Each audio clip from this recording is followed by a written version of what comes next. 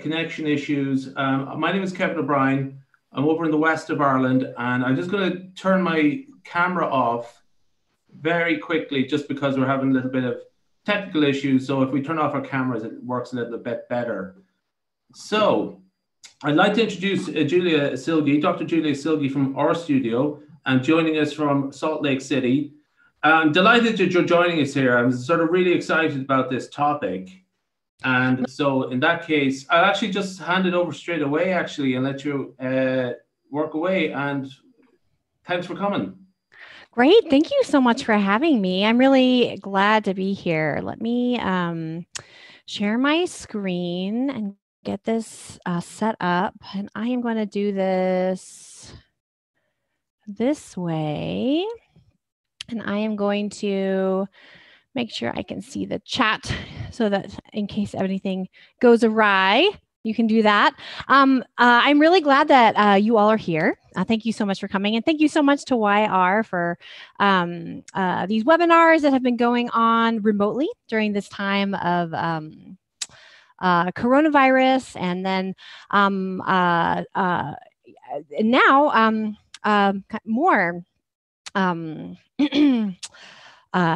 um, world events that are happening. Um, I, so this was the topic that I had ar- always planned to speak about during this week um, because uh, it's one of, um, definitely one of my interests. And as I we talked about um, given events, so I, I'm um, I'm you know I'm a live in the U.S um, where we're having um, protests about um, policing, um, about racism uh, here in the US. And as we talked about, um, should we put this off to another week? Um, is, you know is this something people are going to be even interested in? We decided you know what?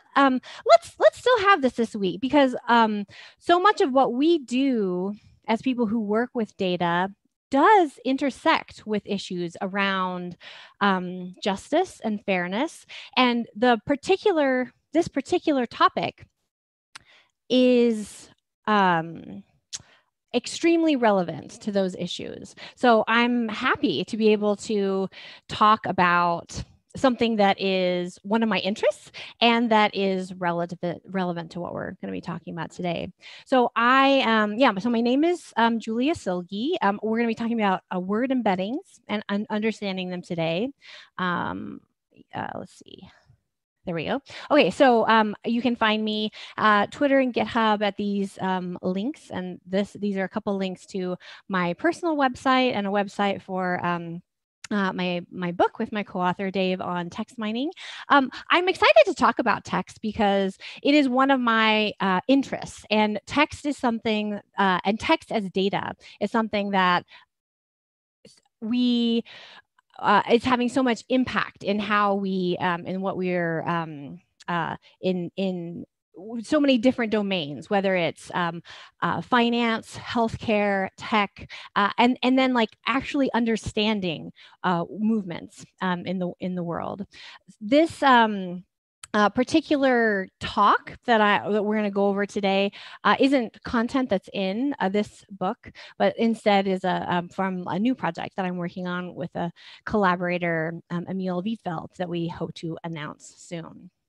So um, uh, text is you know being generated all the time by all these different processes um, uh, whether it's um, you know people on social media uh, typing in things as uh, you may have seen even over the past week um, protesters sharing um, information whether it's um, uh, customers whether it's uh, uh patients responding to surveys um, or or electronic healthcare records in the time of covid-19 like text is something text as data and enormous quantities of it and what we're going to do with something is something that is is um, just uh, ever more relevant uh, and and be, being able to have the tools to understand how to how to uh, like what are we going to do with it is is uh, extremely uh, important.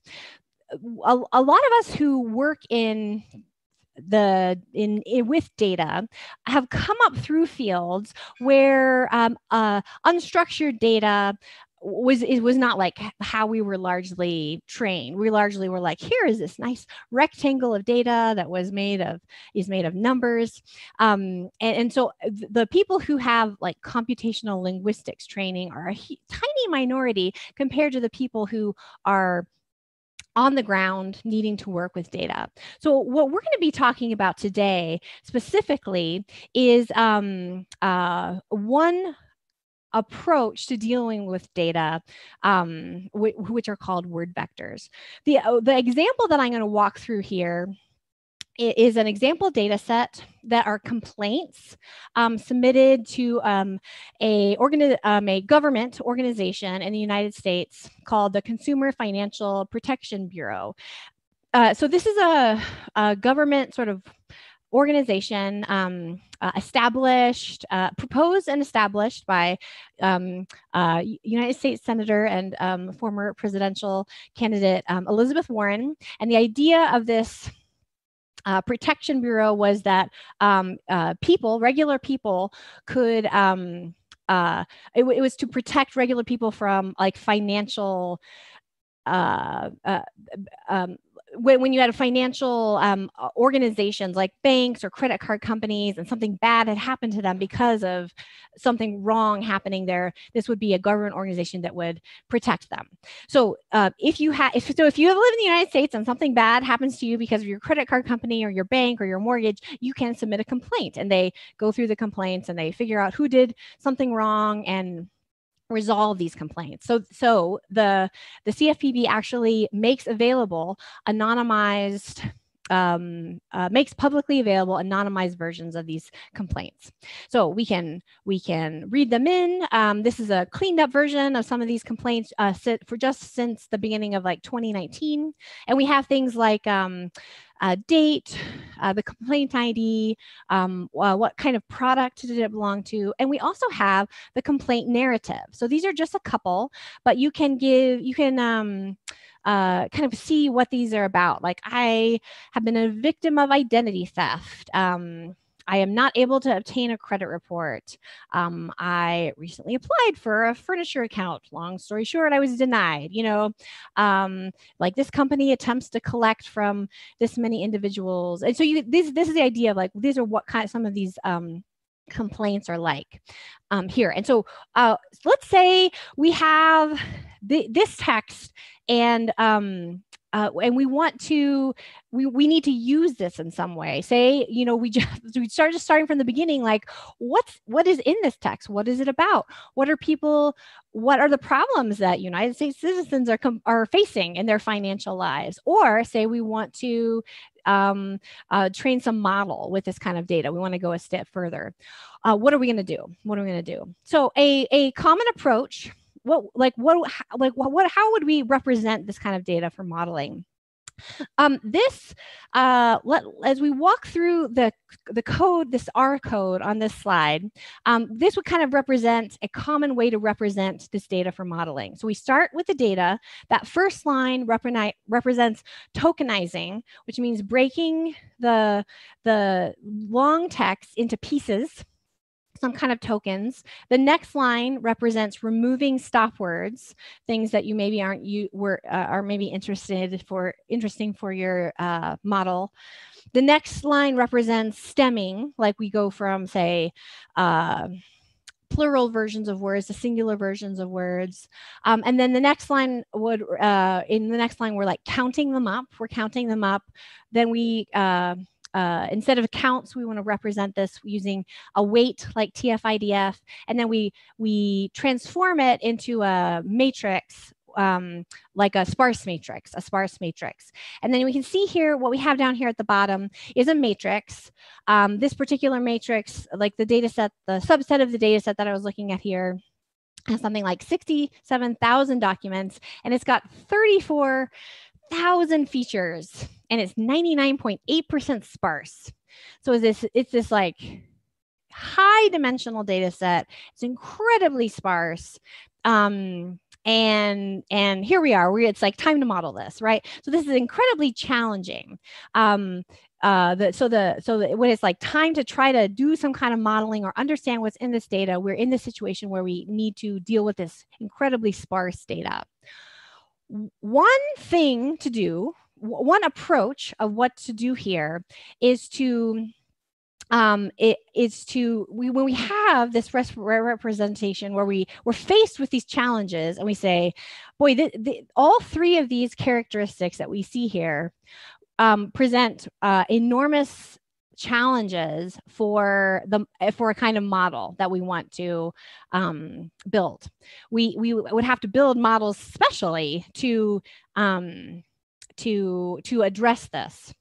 So one thing we could do instead of trying to do that is to try to build a new representation for that data, and that is to um, build word embedding. So we take that super sparse, high dimensional space and we embed it into a new space and we have to have some kind of rules for like what are we going to what kind of new space are we going to take that high dimensional space where you know we have all these words and each document is in you know like we count up or use tf-idf to say where are where are the each document in this high dimensional space with word? We go to this new space with um with like a new embedded space. What like what are we going to use to say what this new space is like and wh- what are we going to use?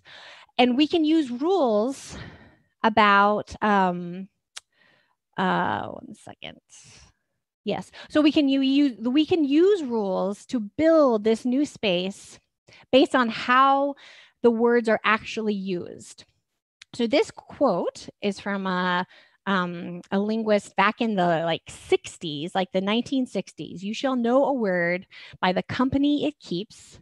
And so this is a idea underlying the idea of word embeddings or word vectors, where we decide how to represent a word we represent a word with a vector of real numbers and we decide what vector of number like what the numbers are based on what words are around the other words. So we have this instead of having like this super high dimensional um, sparse space we can make a dense space of real numbers and we represent every word in this new dense low dimensional space and we pick them specially based on by by looking at how words are used together.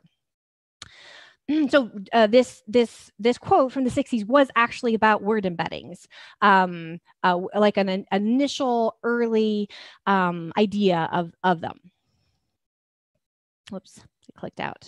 There we go Okay, so um, you probably you probably have heard about modern word embeddings. So these are things like Word2Vec, um, GloVe, um, FastText, and language models with transformers. So things like um, ULMFit and Elmo. So these are all uh, these are all um, uh, uh, examples of word embeddings that are learned from large data sets that take that, that large high dimensional sparse space and get you low dimensional um, vectors, lower dimensional vectors via some kind of math. Um, so so they, they use various different kinds of math, some involving um, uh, deep learning, some you know involving various like different parts of the words, you know, whole words, sliding windows, you know, like like of it parts of words like there, there's different kinds of ways of doing it but they they all uh, work this way effectively. They all work this way.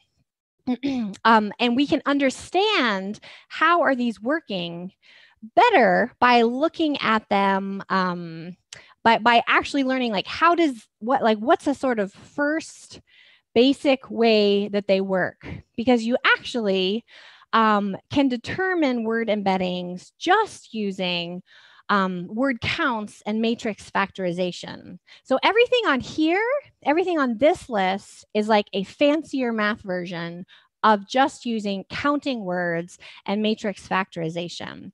So the um, uh, the what I'm gonna about to walk through in terms of like the approach and math is very similar to this reference here at the bottom uh, from Chris Moody, um, where uh, you uh, the like this is the like the baseline simplest approach for finding word embeddings and it can actually work very well um, in many um, in many uh, uh, domains, depending on how much data you have, um, uh, uh, what what kind of problem space you're working in, and what it's really great for is understanding what in word embeddings are and how they work.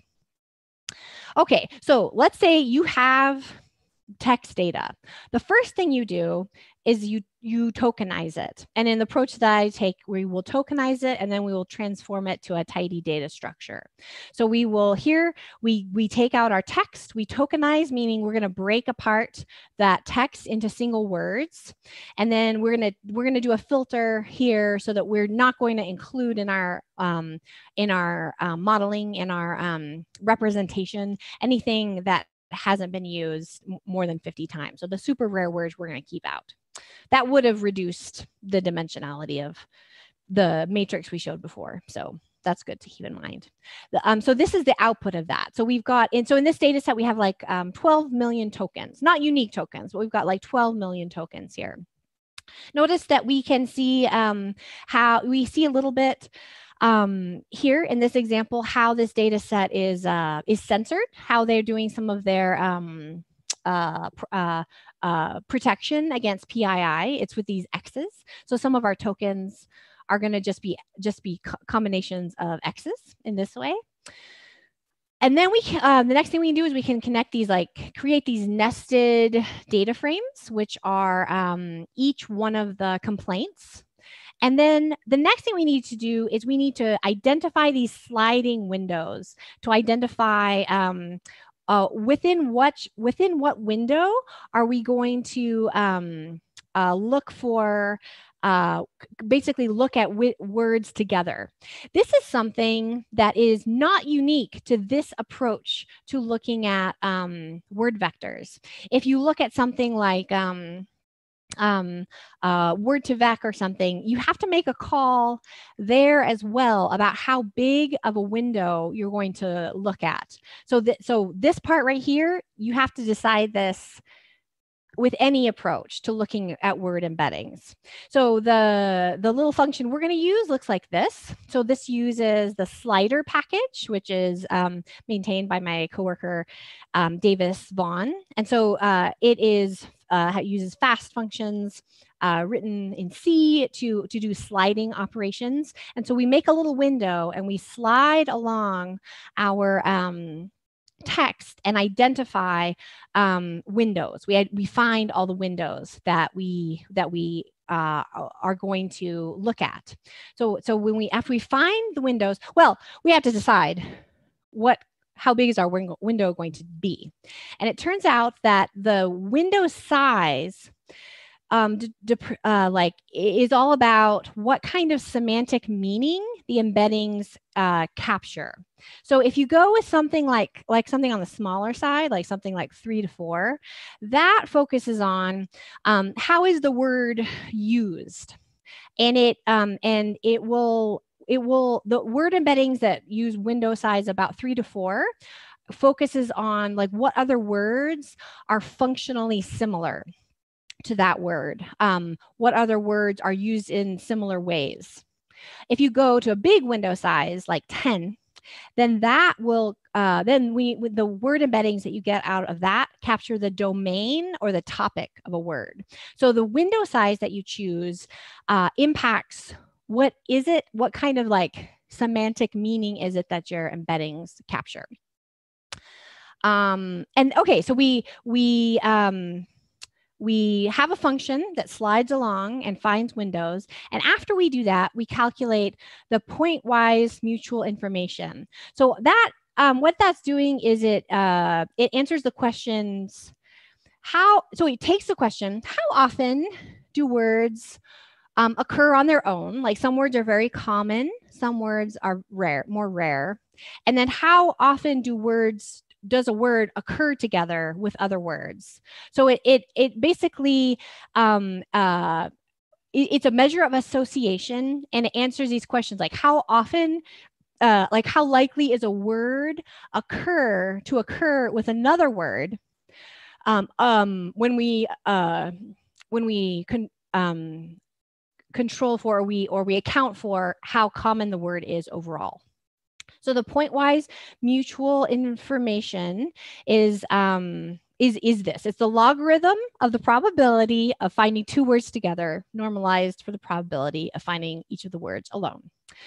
Um, so once we have, um, okay, so so yeah, so this code uh, takes those nested words. Um, we we slide along. We find all of the um, all of the windows. Here I'm using a window size of four. So remember that's on the smaller side where we want to um, uh, more find words that are functionally similar, words that are used in similar ways. Then we um, we find we get a new uh, we make a new ID column that's like a window. So we're finding the windows, not just the complaints. And then we calculate we calculate within a window what's the pairwise PMI. So for all words that we find together in the same windows, what is this? We measure this like which words occur together more often than expected based you know on how common they are overall. So that gives us uh, an output like this. So when pmi is high like a bigger number uh, two words are associated with each other. So we've got um, like on and 2019 so um, uh, people were saying like dates and they're more likely to use the word the preposition on with dates. And then we've got some negative things like I and on we're no, not likely to come within four words of each other because that's like a negative number there. So that then we find the word vectors and word vectors. Um, all you have to do is take is do some like linear algebra. It's just a singular value decomposition of that that those val those PMI values. So you you do here I'm using um, so this is a sparse this is still very sparse. And we so the widely svd is like uses I, the irlba package under the hood. And so it does a um, it does a uh, uh, sparse aware uh, singular value decomposition. And what you get out here is actually word vectors.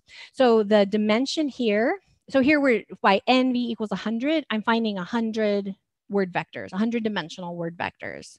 So the dimension here is um, the, uh, the which word vector it is, and the item is the word, and the value there is what real number, what real number do we do like goes, what's the contribution of that word of that word in that uh, in that dimension there. So so after we did that, we did that math, each word can be represented as a numeric vector in this new space. So we had this super, this super high dimensional sparse space and this new space is dense and it's hundred dimensional because that's what, that's what I said I wanted to make was a hundred dimensional feature space. So, um, so that's great. We did it. We found word vectors. That's pretty exciting. So let's explore them a little bit. So let's, um, let's uh, use this function to explore it a little bit. Um, uh, this little function, what it does is it, um, it asks which words are close to each other um, in this new feature space. So we have this new 100 dimensional feature space and it does, it just does like a, um, uh, like a, a dot product to find um, which words are closer to each other in this new feature space of word embeddings. So let's go back. Let's remember what was this data again? CFPA, CFPB um, complaints. People writing to Elizabeth Warren saying, this bad thing happened to me in my financial life. So what's the, the closest words to the words error? So issue, problem, errors, system, mistake, correct, incorrect. So these are the words that are the closest here, the words that are used the most similarly. Makes sense. Sounds good. Um, month. So month, months, year, payment, payments, years, amount, pay monthly. So so notice a couple things. Notice we did not stem. We did not stem these words, but the words got put together anyway. Um, so the so a so word embeddings will learn things that belong together if they belong together. So if words like month and months are used together, they will get put together, um, uh, even if you do not stem them. Um, in this in this data set, payment um, and payments are really close to words uh, to month. Um, let's look at fee charge, interest, late charges, overdraft. This is what people use um, in similar ways that they use the word fee in this data set of, um, of, um, of CFPB complaints. All right, nice. Um, one thing that is nice about this approach, where you um, you're just using singular value decomposition to get to this, is that um, you actually get the components out, like principal components out. So for example, here's the first eight. So what we're looking at here is what words contribute the most, have the biggest contributions to the first eight um, uh, principal components in, in this. Uh, so the first one is most about like consumer reporting. Um, the second one is in the opposite direction, but it looks like it's about kind of dates probably and credit account. Um, no, you can tell here that we did not remove stop words, but it it we could perhaps argue that we're learning things about how stop words are used. So, for example, um, uh, I think that um, maybe it's on the next slide. Okay, so first, notice how all those numbers are used very similarly to each other. So that is something interesting to see. Uh, okay, so yeah, I think here is where it is. So the um, the so in notice in number 13 we we're notice like which words that are often considered stop words are used in different ways. So stop words um uh, one could argue are not non-informative but are informative in different ways than words we often consider stop words are. So like was letter received is sent be very like these those are a lot of words that are often considered stop words but they are they are associated with like letter received sent you know like they're being used in interesting ways. Um, and uh, you would might say the same thing about 12 with like home um, here. So so this is something we get out for free is like this interpretability of the um, uh, of the um, of the vectors when we um, when we use this approach. But um, oh yes. Okay. So so we use the we we um, we made these models. We made these vectors. How do we use them in modeling? So the a classic and simplest approach is to treat each document as as a collection of words and we just summarize word embeddings into document embeddings. You can do that using either taking a sum or taking a um, mean. And i think in this approach I I counted them so that makes it a um, sum.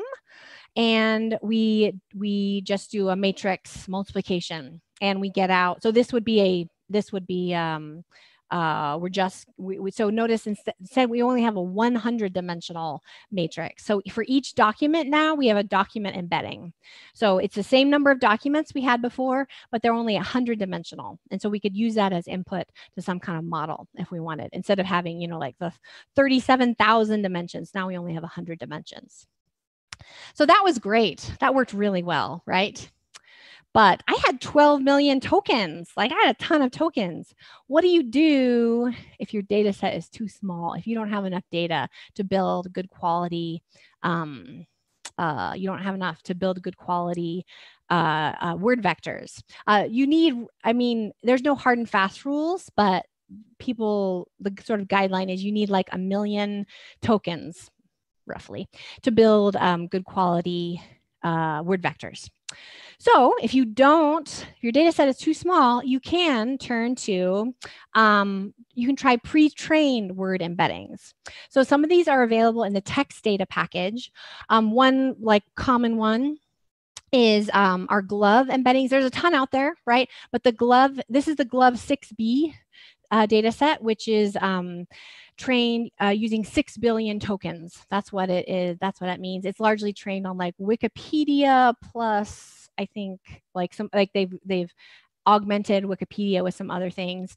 And since I made 100 dimensional ones before, let's get 100 dimensional ones here. So the output looks like this. Um, right now it's in like a wide form. Um, we can uh, transform it and get like a tidy form here, and it will look like this. So this is like an, an analogous structure to what we had before.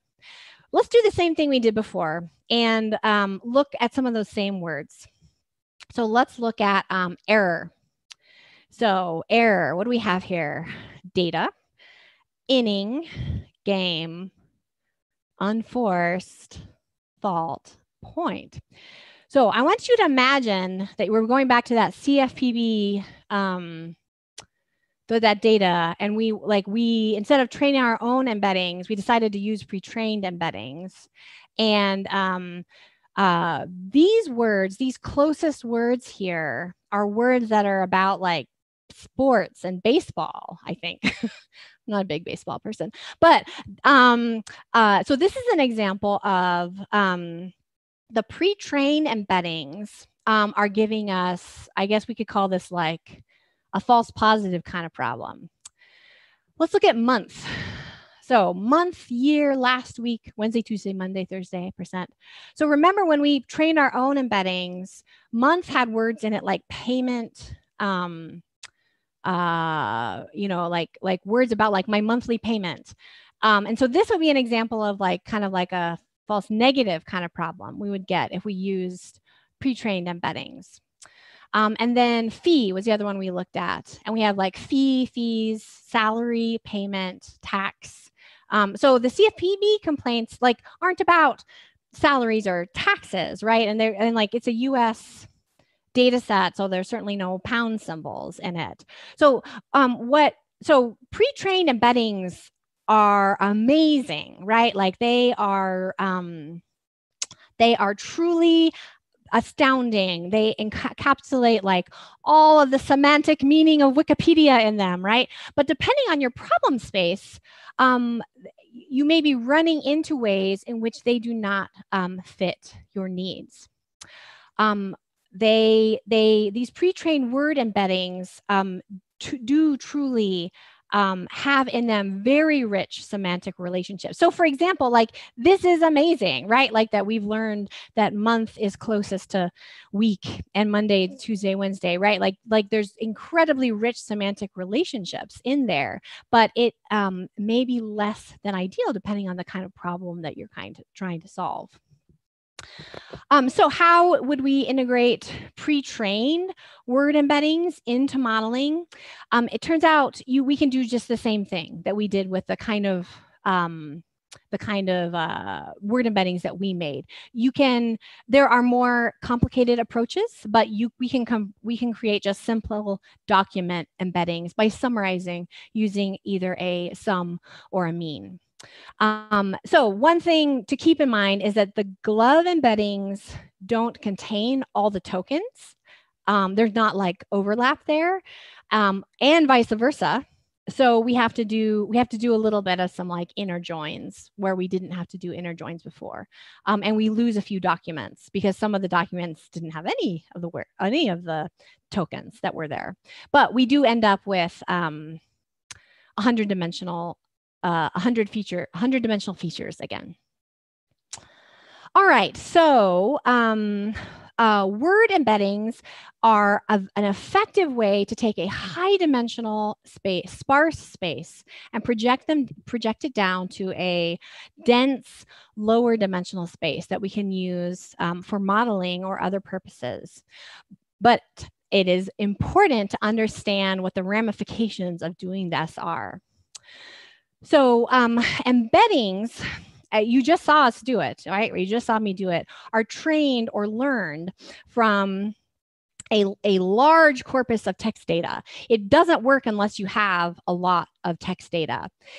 And um, it is it is true of basically all machine learning that um, the the the impact, the output of machine learning is um, exquisitely sensitive to whatever is um, uh, what whatever is uh, the the structure, the the information, the the biases that are um, that are baked in to your training data.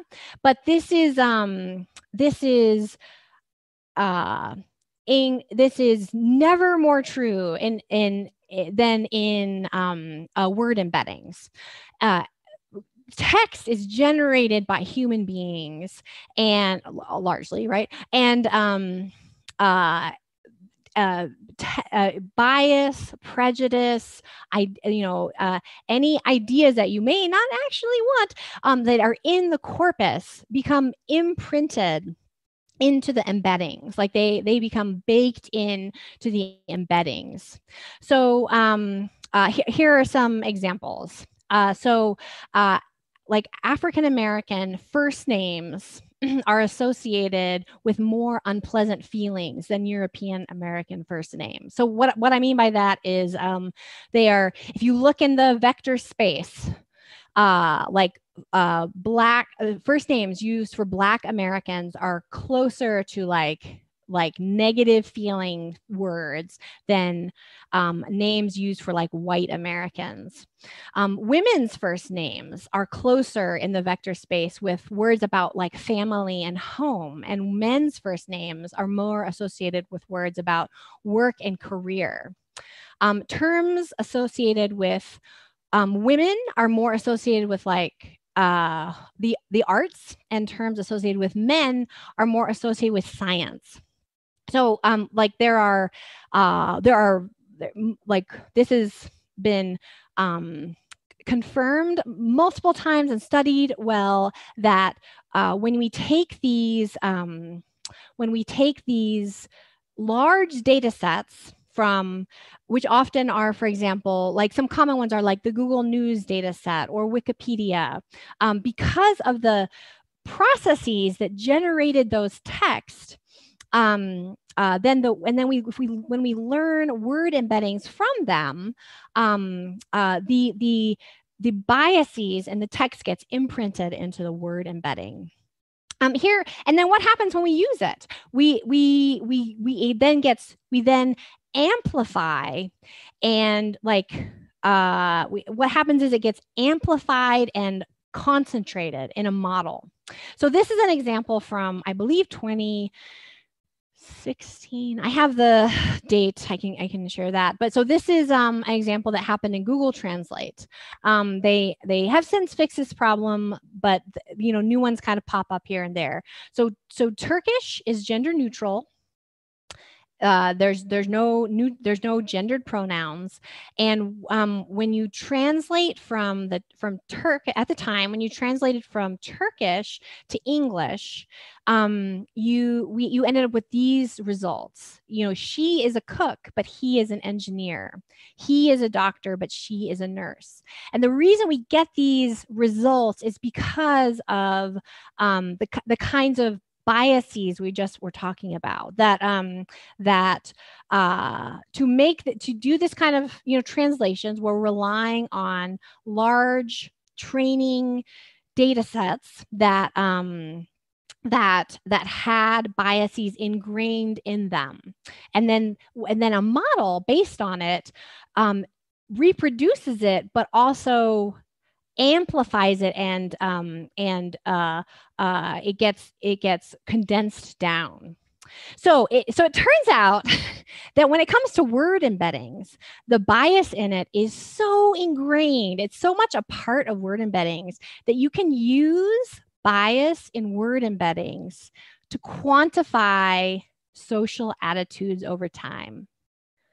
I'm just going to say that again because it's so incredible. Like bias in word embeddings is so much baked into what they are that you can use you can measure bias in word embeddings and you can use it to quantify change in social attitudes over time.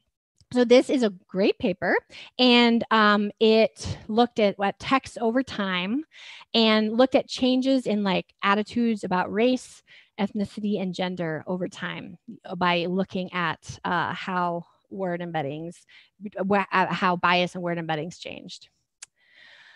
Okay, so so yeah, this happens because of these biased um, training data sets. So um, they come from these large data sets of text data. So um, the GloVe, the GloVe 6b um, data sets that we looked at comes from Wikipedia. And so uh, it, these, these data sets um, uh, often have a problem where they are both reflecting social historical bias and generating bias through the um, the what's going on in how that data set is generated. So for example like one response to this might be like well you know that's just um like like like okay yeah like women like we have we have uh, uh you know we get these results and like like women's names are most associated with more associated with family and home and men's are more associated with like work and career. Like that's the way things have been. Like don't blame the you know like don't blame the messenger kind of situation. But the but the, uh, a a challenge there is that the that our data sources often come from um, pro- are often being from data generating processes that have a two two two things going on. They are reflecting social historical biases but they're also generating bias through what is going on uh, in that situation as well. Um, okay and then what happens when we use that in a model um, what happens when we use that in the model is that the the bias gets um, the um, gets amplified and condensed down. So there's a from, from 2017. There's like a really straightforward example where you try to um, where this person walked through how they uh, uh, trained a straightforward sentiment analysis model. Um, very straightforward and a, a simple text like let's go get Italian food um, was scored much more highly than let's go get Mexican food. It uses it, it uses these um, data sets that uh, largely were generated in the United States, um, uh, where um, discussion around immigration and individuals from Mexico involved you know, negative words. And so these things that should be, you know, both should be the same or neutral um, you end up with this, this problem in, in the model. All right, so what are we gonna do? What are we gonna do about this? What is it that we are gonna do and move forward? So one thing is to uh, find your own embeddings, learn your own embeddings rather than use pre-trained ones. Um, uh, any large data set is going to have in it the um, the uh, the biases of the people who generate it. But if you use your own, define your own instead of using a pre-trained data set, you're at least not adding in um, systemic and historical bias from another source. So that's one idea to consider. Um, consider not using embeddings um, in the problem space you are working in um, uh, it may be possible instead to go back to that sparse representation and to use a um, to weight by TF IDF, you know, use um, bigrams, trigrams, use a model built for sparse data, um, perhaps with regularization or something. Like there may be another option for your modeling. Um, and then there's the question, can embeddings be debiased? Is it possible to take the embeddings, learn them, and then correct them after the fact. So um, here are some ways that people have worked to debias embeddings. You can take the, so it's, this is like, like uh, vectors, right? Like in a high dimensional space. Um, you can reproject them to mitigate a specific bias um, using specific sets of words. So people have mostly done this with gender. So they take like the list of words like um, aunt, uncle, grandmother, grandfather, um, wife, husband, you know, like they take lists of paired words and then um, mathematically reproject so that the, this long list of paired words um, do are debiased. So that's that's one thing that has been tried. Another thing that has been tried is um, uh, you take your training data and you augment it with counterfactuals. And so this means you take the words about, you take the sentence, you take your data with the word, the sentences about women being such good homemakers, and you add sentences about men being just really excellent homemakers. Um, uh, other researchers say that the the if you want to be fair, um, you, measure bias and then make a correction at the decision point. Um, you don't mess with the model, like make the correction at the point of decision, not in the model. And um, the reason, like, why those people make that is because they're somewhat skeptical about ideas about debiasing. And um, the like the most recent work is that um, like all the evidence so far indicates that all debiasing methods so far allow stereotypes to seek seep back in.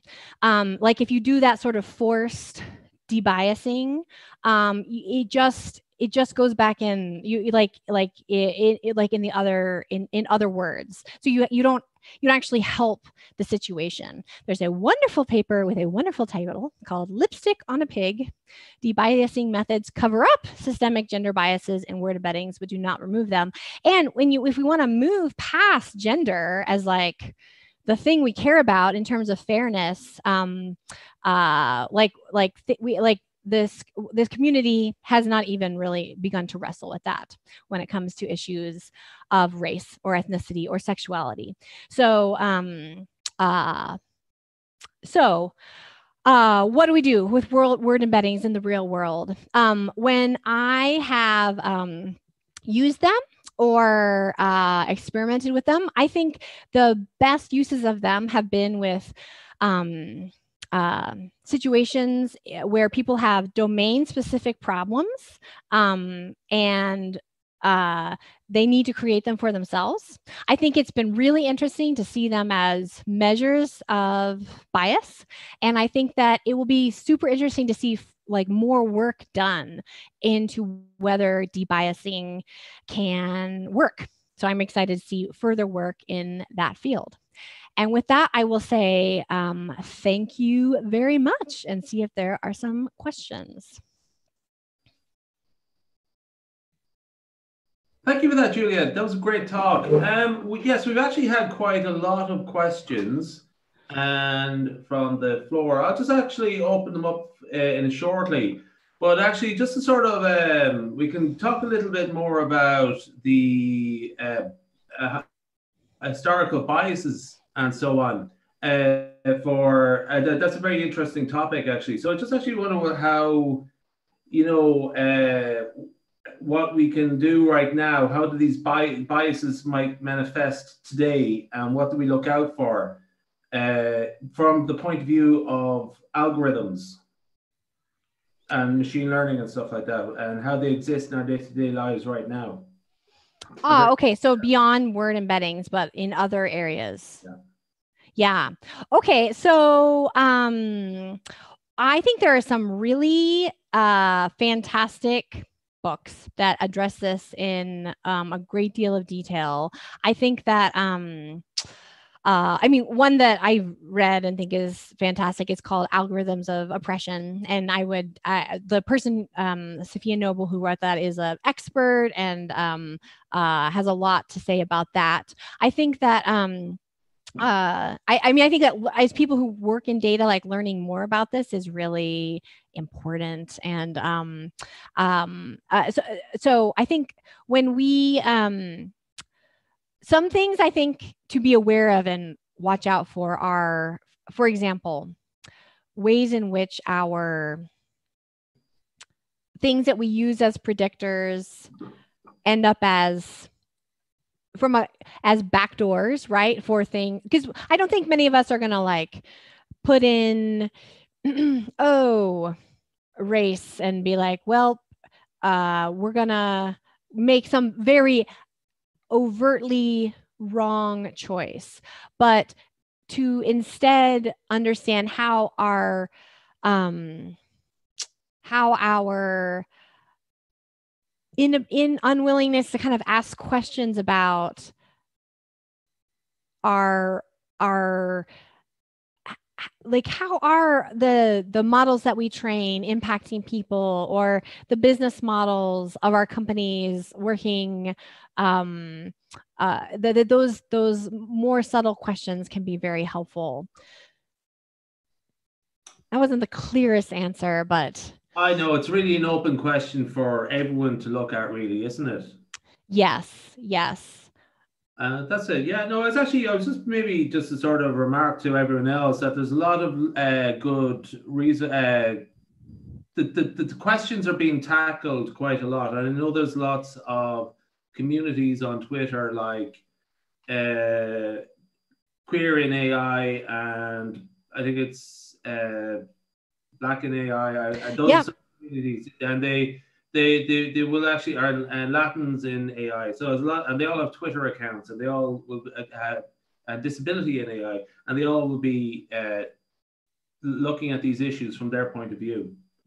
So yeah, that's great. Um, just uh, just actually just sort of like historical biases. Uh, have you have you ever has it have, do you know any um uh, works that have been or like uh, projects to look at historical biases in the past and uh, like I was very interested in what you sort of said there about the connection between women and art and men and science.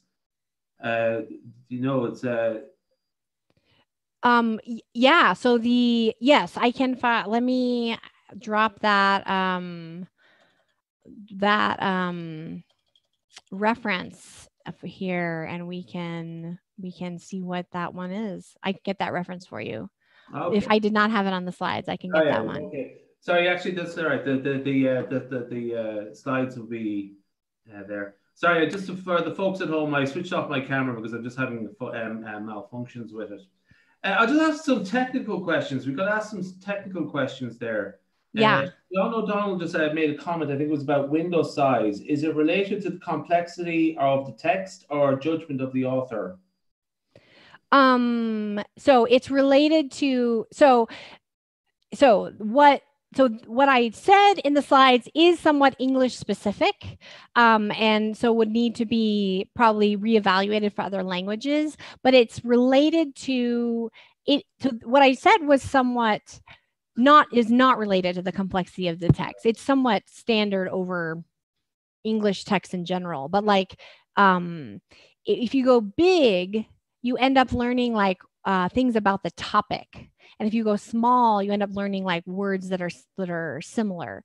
There's a um, I can maybe find this and we can add it to some link somewhere, but there's a there's a nice um, talk that's more Python centric that kind of evaluates this uh, and kind of shows some differences um, for one of the Python um, word vector implementations that kind of shows this, and it's it's pretty interesting to kind of see how it changes as you change the window size what kind of information you get out. So so no it's it's related it, that doesn't change very much to um it doesn't change very much on the kind of text because it's somewhat related to like the characteristic of english as a language and how people use it. Okay good stuff. Uh, jeff bricker has uh, uh, contributed a few questions here um, does stop word removal affect the accuracy of the embedding? And does it sort of, yeah, that one, we'll go with that one first. Yeah, no, you you can remove stop words from before you do embeddings. Then you um you know you can like have word embeddings that don't include stop words um, and and then you just don't have that information in the word embeddings um, you uh, in word embeddings, I'm sorry, stop words are not non-informative. They're they are like per per word, you know, like less informative than words. It's more like a it, I, it, you know, it's it's more like a spectrum, right? Like it's not like here are the informative words and here are the not ones and we can just cleanly slice these off right? And so um, i did purposefully leave everything in here um, to show how oh actually like these are being used quite differently and are in the space in certain ways but certainly certainly they can be taken out and make things train faster um, and uh, uh, that is certainly that is certainly an option. Okay uh, just a follow-up question uh, there. Uh, just, a, just really a sort of a, a quick high-level overview of how to cluster embeddings was the follow-up question. So word embeddings are um, vectors, uh, new real of real numbers, and so you can use basically any, you know, approach you would use to cluster vectors of real numbers to um, to to do that. Um, they're like that's the idea of them is that you represent them in um,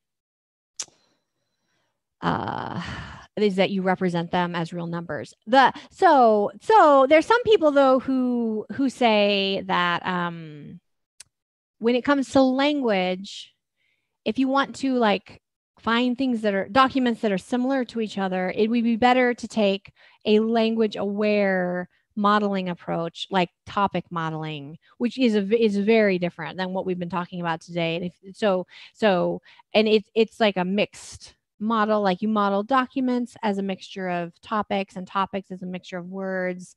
Um, and so like that's that's an entirely different sort of approach to that uh, like if you're like i want to cluster documents together like so some some people in this computational space would say like that's the right call on how to um, find similar documents but um, uh, certainly that's part of the point of finding um, of finding word embeddings is so that you just have real numbers and then you can do with them anything you would do with real numbers.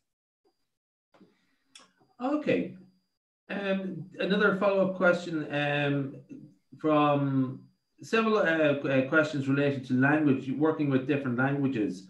For example, uh, is there uh, the, an adjustment needed for languages from different language groups? For example, word order is essential in some languages. um, so, okay, I think the thing to think about that's important is the window size. Um, and the because uh, there are differences in um, how sentences are even arranged. Um, and may, and to, the tokenizer tokenization is quite different. So some of those steps that were taken it, to create uh, word vectors are steps that are language diff- or specific. So tokenization, for example, is very different when you move to um, uh, uh, languages, the languages of Asia. Um, uh, there are, um, when you come to uh, languages that arrange their grammatical structure differently than English, um, you there would be different semantic meaning learned from different window sizes. Okay, um, that's great. Um, the uh, one of the uh people on the uh, the, the uh, sorry just a quick question here. I wonder about the human use of indirect speech act, acts, the use of irony, understatement, overstatement, and uh, reversal of meaning, and so on. Language tricks. So, can you just wonder if there's that can that be captured by modeling? Yes. Um, so most um most corpuses of language don't have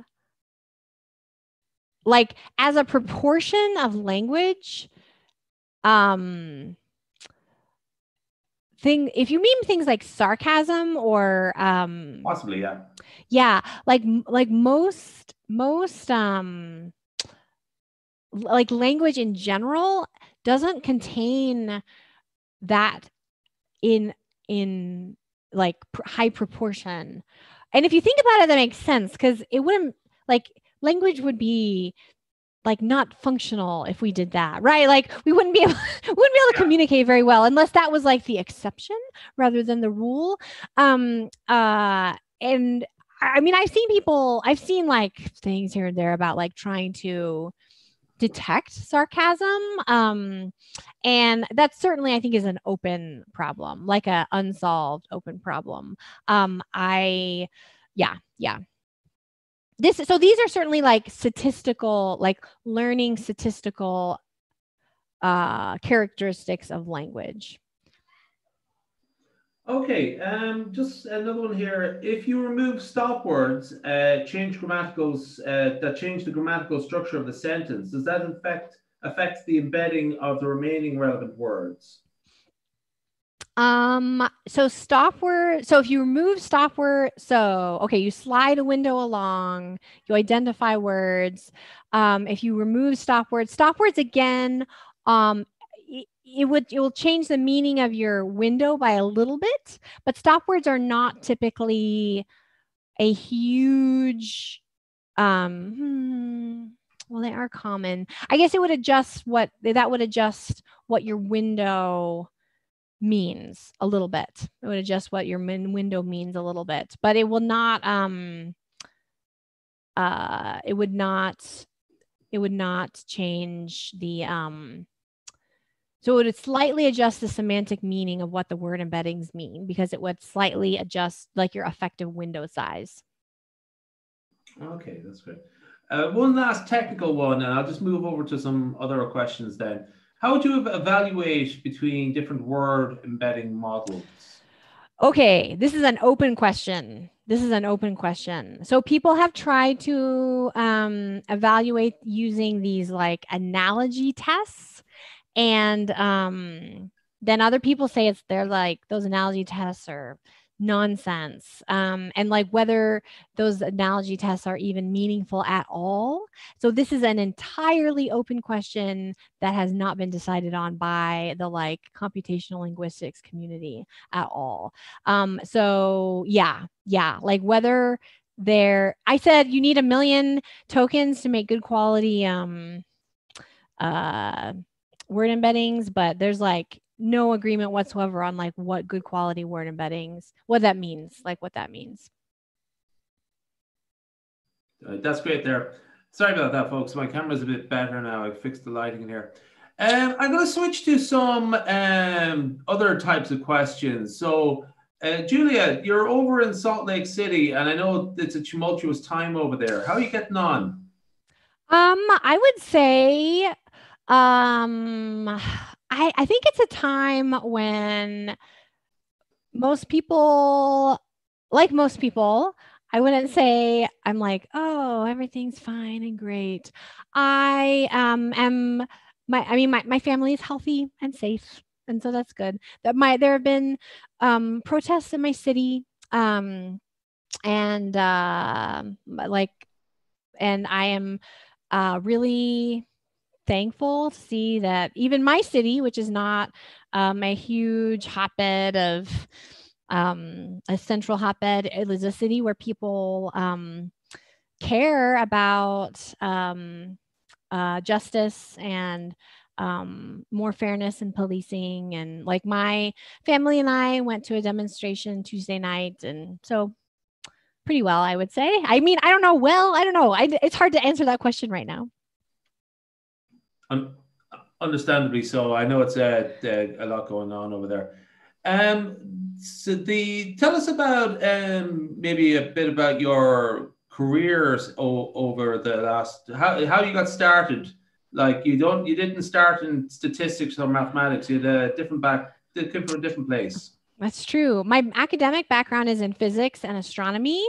And um, I was in academia for a while, teaching and doing research, and then had a somewhat circuitous route um, doing working at like a couple startups doing random stuff. And about five years ago, I transitioned into data science. Um, so I am largely self taught actually when it comes to um, statistic, formal statistics, uh, I uh, sometimes I feel really aware of that. Like I'll come up on like holes in my formal statistics knowledge, but it's I um, uh, I, I enjoy I am I am always someone who's really enjoyed like learning new things, and um, so it's uh, it's it's um, it's I like I like try to be filling those holes as much as possible and keep keep reading and learning.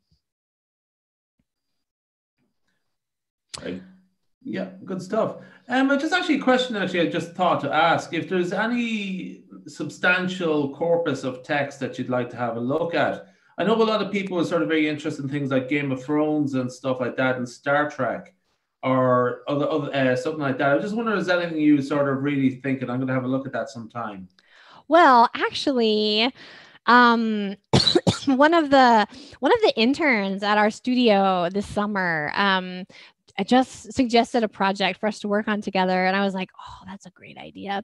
Um, he said that he has a all of the um, like 30 years of the R help mailing lists um, scraped and available together for like for like topic modeling and text analysis and and I was like, oh man, that would be so interesting. Be so interesting both for understanding um, like how has R changed over time, how like what kinds of questions have people had, um, also kind of like how were how did um uh like how, when did people sort of like move from email to other kinds of um, uh, areas for getting help um, how did uh, how did different contributors change over time or I, I, and i was like oh man yeah that's a great data set to be able to understand kind of this community that we're all a part of That, that's a fantastic answer. Um, that that uh, that that is actually really good. Actually, that that that would um, that would be paint a very interest, a, a, very perfect history of the R project over the last. That's a really great answer. Actually, I have to think more about that one. Actually. Yeah. Um. So actually, um, I know you're also involved in the R community and user groups and R ladies and stuff like that. How is that? How's your interactions with that going along at the moment? Yeah. So um, I'm locally here in Utah. I'm um, one of the organizers for our local R user group. And um, we've moved to, you know, online meetups, much like this via Zoom. And that has been an interesting transition, but has, um, uh, you know, it is what it is. And I've been really thankful for speakers who have been willing to be flexible. And just last week, we had a really interesting meetup with one of our um, local data scientists who's a uh, who works at our local community college, which is um, uh, for I. It's like a two-year institution, higher ed institution. I'm not. I I always get fuzzy on differences in educational systems like Europe versus US. Anyway, she gave a great talk. So it's been interesting to kind of like transition during this um this uh, this time but so so that's interesting i it's interesting to be involved locally in the meetup because i work remotely now and actually have worked remotely for a number of years so i'm glad to be involved in the local meetup scene for data and R specifically because um, it's really nice to have those local connections when um, uh, my work tends to be um, uh, you know mediated all the time by screens and across time zones and um, and long distances Great stuff. Uh, there's two questions on the YouTube channel. Uh, I'll, I'll, the. What is the current development and future of the Tidytext package? And uh, yeah, yeah. Okay. So one um one idea, one thing that's kind of rattling around is um uh, um getting some better um, tutorial materials out there. Um, I'm really excited about uh, learnr, which is um, a package for like interactive tutorials. Um, I I recently just like revamped one more time the um, the uh, the supervised machine learning course that I had developed, and I, I, have like another course that's just kind of sitting fallow right now with like data sets I like and you know work that that I liked, and I would like to redo it and maybe make it you know in one of these sort of self-contained environments that people can either install locally or like access through the browser both you know like that you can do both with learnr which is really exciting and the, the other thing is um, uh, stm the topic modeling package that is my current like recommended. Like I really like it. Um, the some of our uh, vignettes and docs and whatnot um, are a little out of date and don't really show how to use that package as well, including maybe some functions for really making it easy to train um, many topic models at once, be able to, for example, find the best value of K um, for like the number of topics for large data sets. Great stuff. Um, the just a sort of a little sort of a quick question there. Just one was about how about MATLAB, that, but I'm also going to join it with how about the Julia programming language? Surely that has piqued your interest with your background in physics, of course. Yeah, yeah, yeah, yeah. Okay, so I am a little bit older on the older side actually. So my original like way back in the day, I I was like a C person. Like that was my my um like introduction to like what did I do all my like programming and data were you know my my my coding for when back in the day was all that. And so I think um I think if I were to uh because of that background, like if I were to need to write like something faster, I would probably be more likely to um brush up on and like get that if I needed to write fast code, I would probably write C rather than learn Julia, but just because of my um my background. Um, but it is, I think, very interesting also to think about when I think about my own sort of computational background, like or journey, one might say, um, to think about um, uh, our R's real strength and like what R is and does is this uh, interface between like me or us like as uh, data scientists data analysts like people like human beings uh, who are writing code and um, uh, at, at performant code like or like some kind of um, uh, engine uh, whether that's c or stan or um, uh, I, you know, I mean, Python when it comes to reticulate and Keras, or you know, like any of these sort of um, uh, examples we have of uh, it R being this um, fluent, um, efficient bridge between um, uh, us like needing to write code to, to you know say here's what i need you to do and this less fun to write um, uh, other language. And so it's interesting. And, and it's really interesting actually, since like that's kind of my day job now, right? Is um, in the tidy models ecosystem, like that's what we're all about, right? Is like making the ability to write machine learning code or modeling code in our ecosystem fluent and um, low friction and to smooth out these heterogeneous um, uh, uh, uh, uh interfaces that we have there's been quite a bit of development in that uh, with tidy models lately. I think believe there's a course online now. Is that right?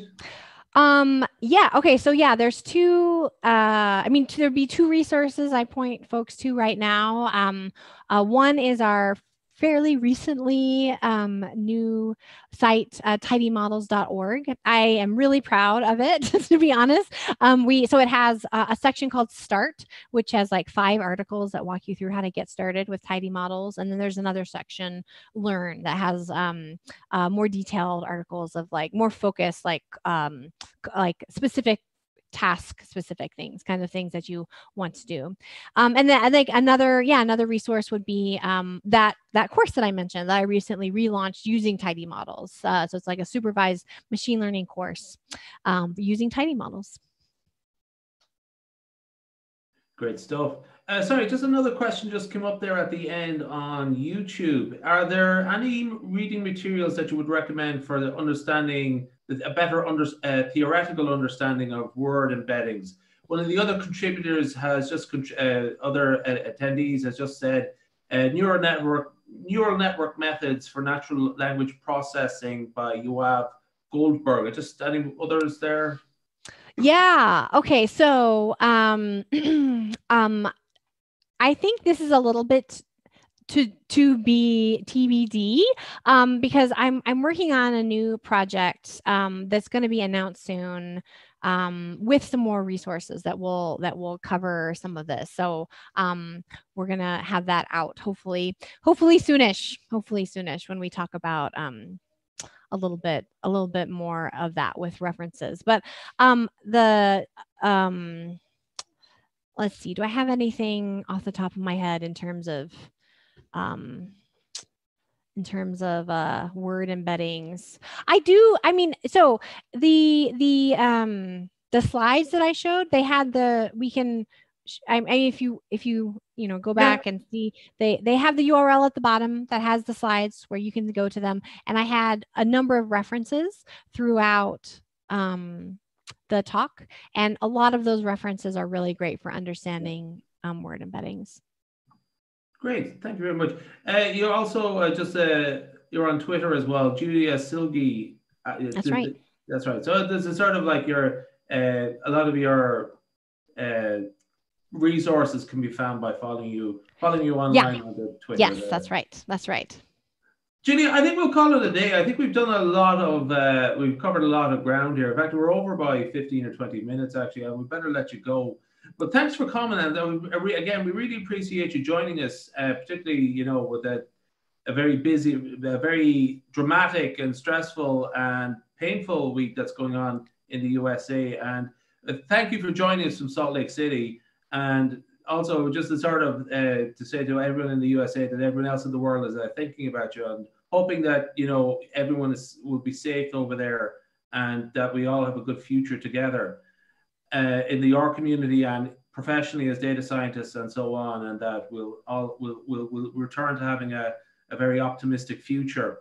Um, but I think we'll leave it there. If that's that sounds great. Thank you so much for having me. That's great. All right. Um, just to say to everyone else, uh, thank you for joining us as well, and we'll be delighted to uh, host you in the future. Hopefully, uh, everyone in the world. I was just noticing that we have people from five continents on the uh, uh, on the chat there. So people in North America, South America, Africa, Asia, and Europe, you know, uh, we, are all one big community, and we all hope those like we'll all join in this uh, Why R project together, and that we'll be hosting more talks from all over the world in the future. So I think that we'll leave it on that note there, and just to say thank you to everyone.